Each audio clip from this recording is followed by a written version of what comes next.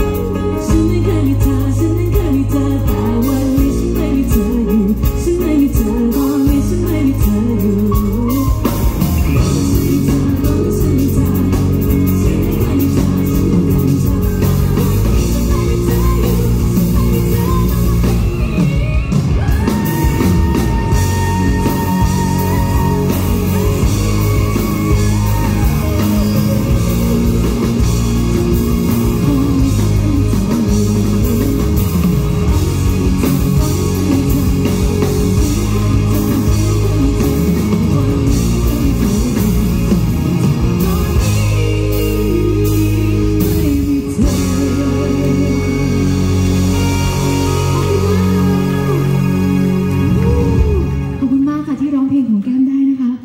ไม่มีเธอไม่ตาย ขอบคุณมากจริง ๆ ค่ะ